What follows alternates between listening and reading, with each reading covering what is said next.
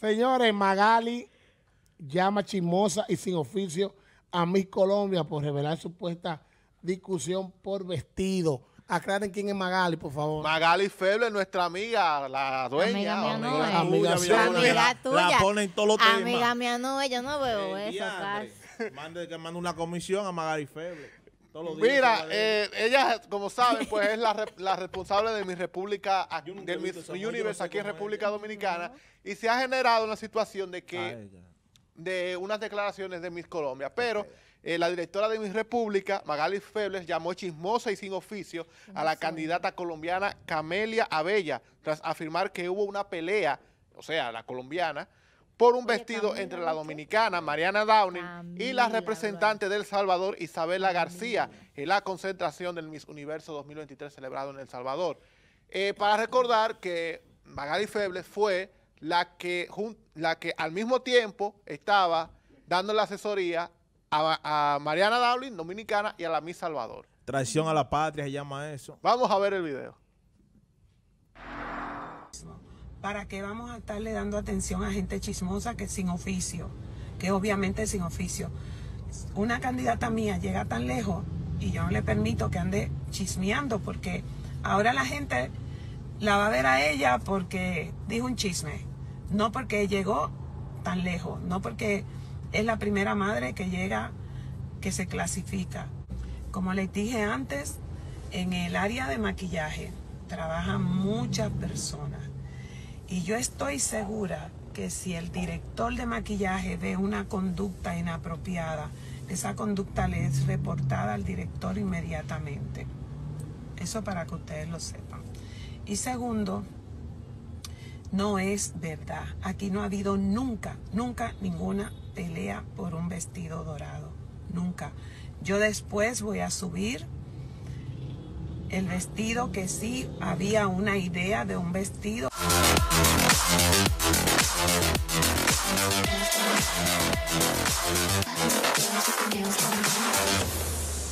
Él siempre eh, ha estado como, como, como que le queda grande ese puesto. No sé qué, que parece que nadie lo quiere ese puesto aquí. eh, de Magali Febre Villalona. Ella, Usted Karen que está Yapor. empapado. Karen Yapor lo quiere. La Yapor lo quiere, ¿Qué- ya lo dijo tiene que públicamente. ¿Qué hay que hacer Ay, para que ella lo te sí. coja? Eh, ay, sí, esa mujer. ¿Qué hay que sí, por ella lo, que lo compre? Es así, Edwin, que, que, que Edwin, que ayude, de- que mueva influencia. Es así, mi amor. Que saquen esa Claro. vieja de ahí porque esa mujer, yo, esa mujer, ese es un Pokémon que tú desbloqueaste, Villalona. No, no sabía de la existencia de esa señora. ¿Cómo que no? No, porque que son gente que están, son gente que están patadas detrás de cámara, Villalona. Entonces, personas como tú lo sacan al aire. Es como por eso nosotros ¿Cómo vimos que yo? porque hay gente que para desbloqueando gente que no tienen nada que ver. Es como, Pero por ejemplo, Jessica, que saca control de personajes al aire, que no están patadas, de, son gente que están detrás de cámara. La amiga de Yailin, son gente que están patadas detrás de cámara. Usted no es figura pública. Magali, eh, eh, eso es por elección. Son gente. No, No, eso, tienen- yo creo que eso es entre designación y la influencia y todo eso, porque ¿Qué influ- el ah, que el. Miss República, la, eh, la franquicia de aquí depende de la franquicia internacional. Entonces, hay que para ver- allá. Está bien pegada ella. eh. Está bien pegada, parece. Sí, pero aquí no quiere saber mucho de ella. Porque ha tenido varios fracasos.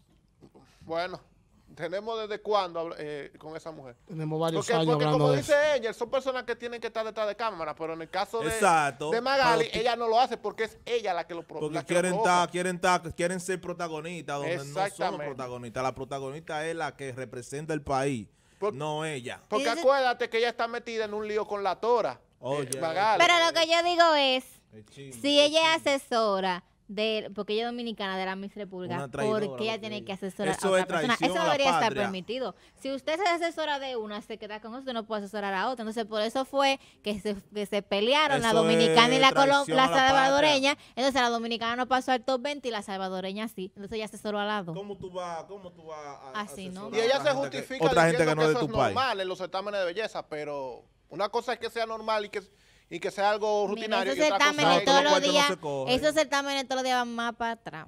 Hay dinero que pichan bolsillo. No, y, y Exacto. para Y atrás mira- hace rato. y de- mira- después que meten esa Y mira que esta- Dígalo, esto de, usted no espérate, de eso, dígalo. Eh, esto de, de Magali llamando chismosa a una a la representante de, Co- de Colombia, eso es muy mal, eso se ve muy mal. O sea, creo que ahí se ve la falta de, de altura y de comportamiento de Magali Feble con sus eh, con las concursantes de otros países.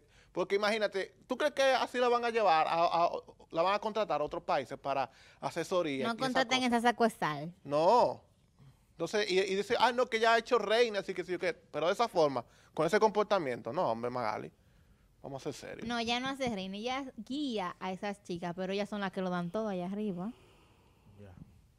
Ya. Pues puede ser que, Ya. que Enye, ejemplo, Néstor, que tenga un guía que le haya enseñado a desenvolverse, pero ya Neto es que está brillando ahí adelante, ya no puede decir que ella la que lo ha hecho tampoco.